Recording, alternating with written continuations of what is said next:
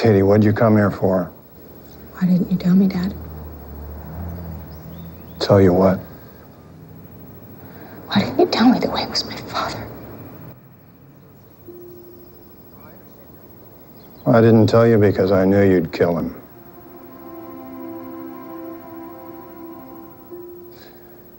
And your mother loved him.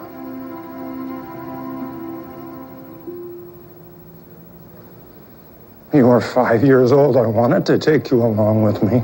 She wouldn't let me. So why didn't you kill him?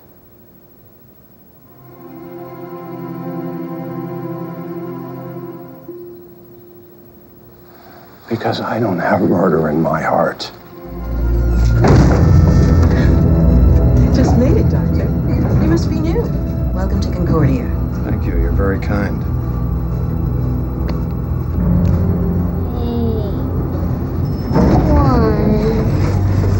The ride.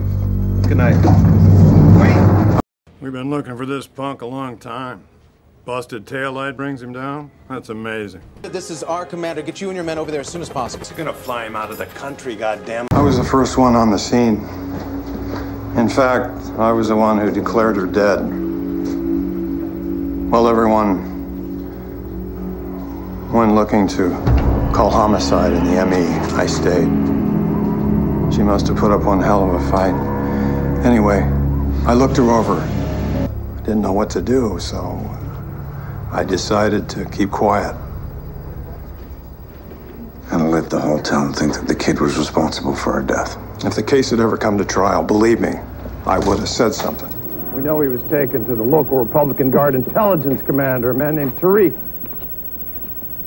Do you know him? Yes, Do you know where he is? He fled to Hilla. Hilla, huh? That is right. If you really are an expert, you'll know what kind of gun is pointed at the back of your head by the sound of the hammer. An M1911. I got a charter leaving for Asia in half an hour. The money and the delivery instructions are in that briefcase as we discussed, it's been a pleasure doing business with you.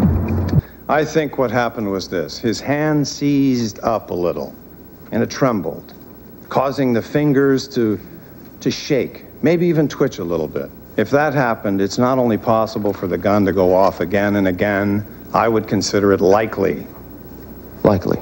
Yeah, you have to understand this gun has an automatic recoil. If his hand is trembling, pulling at the trigger but not pulling too hard, it will recoil automatically and fire automatically. It's extremely plausible. I'd like to know why someone knocked out with a migraine can be dragged out of his bed without even knowing why you want to talk to him. Ever happened with you, Gary, right off meeting someone, you feel like he's a lion sack of crap? Well, hell, she's getting away from us. I want a harpoon in the air in 10 seconds. Help, shadow that ship. This was obviously a mistake, sir. Brinkoff wouldn't launch a missile by mistake. That was an act of war, Major. Commander Rabbit and Lieutenant Roberts are on that ship, sir. I have 303 men and women aboard this ship, Major. I will not compromise their safety for anything or anyone. Fire one.